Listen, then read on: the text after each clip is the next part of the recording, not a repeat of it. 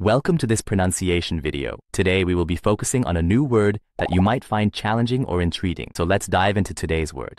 Songs, which means Musical compositions with lyrics intended to be sung by voices.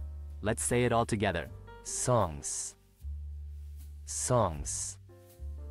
Songs. One more time. Songs. Songs. Songs. Thank you for joining us on this adventure in pronunciation. Remember, language is a journey, not a destination. Keep exploring, experimenting, and expanding your linguistic horizons. We'll see you next time.